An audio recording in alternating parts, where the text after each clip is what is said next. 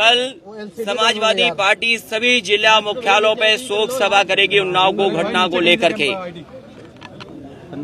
सभी जिलों में समाजवादी पार्टी कल शोक सभा करेगी। समाजवादी और उन्नाव जाने का उन्नाव की सभा का हम समाजवादी पार्टी के लोग बैठ करके तय करेंगे। मुझे याद है वो दिन जिस समय मुझे सुबह जानकारी मिली थी कि बेटी के जला दिया गया है। सबसे पहले समाजवादी लोग पहुँचे थे अस्पताल में। हमने कहा, इलाज में दिक्कत नहीं आए, आप बाहर बैठे रहना। आप मिलने की कोशिश मत करना, केवल माँ बाप से मिल लेना, परिवार के लोगों से मिल लेना। बताओ लीडर ऑफ़ अपोजिशन इस सदन में बैठने वाले लीडर ऑफ़ अपोजिशन को नहीं मिलने दिया? हमारे पार्टी के प्रदेश अध्यक्ष बैठे रहे एमएलसी बैठे रहे, किसी को परिवार से नहीं मिलने दिया? और जब उन्हें पता था कि बेटी की जान नहीं बचेगी तो क्या वो लोग उसको जानबूझ करके ध्यान हटाने के लिए दिल्ली नहीं ले गए? दिल्ली इसलिए ले गए क्योंकि वो जानते थे कि बेटी नहीं बचेगी। मेरी सिविल हॉस्पिटल में डॉक्टरों से उसी दिन बात हुई थी। मैंने पूछा था कि हालत क्या है। उन्होंने बताया था डॉक्टर लोगों ने कि 90 परसेंट बेटी का जल गई है। आप बताओ, जो 90 परसेंट जल जाएगा, वो कैसे ज़िंदा रहेगा? और कभी सोचना, अकेले में आँख बंद करके कि जो बेटी के आखिरी शब्द थे सोचो कभी।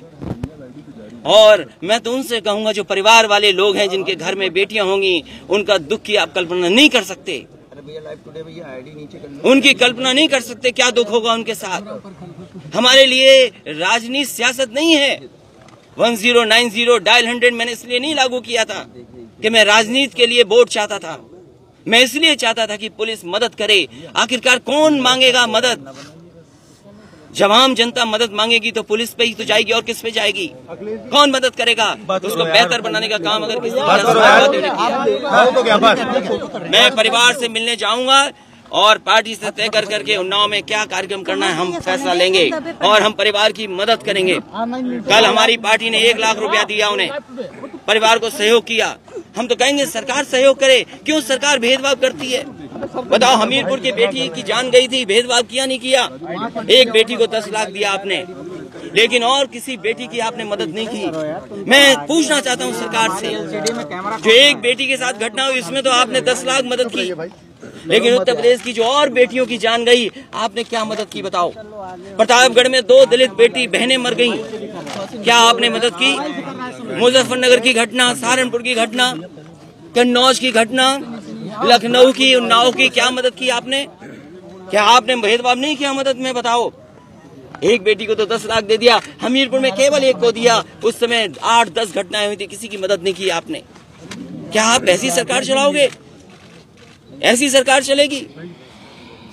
ऐसी सरकार जो दुख दे रही है, परेशानी पैदा कर रही है, इसलिए सरकार हटे, ये हमारी मांग है। और जनता के बीच में लगातार हमारी पार्टी काम करेगी और कल जिला मुख्यालयों पे समाजवादी पार्टी इस बेटी के लिए शोक सभा करेगी। इसके साथ साथ जितनी और बेटियों की जान गई, उनको भी शामिल करेगी।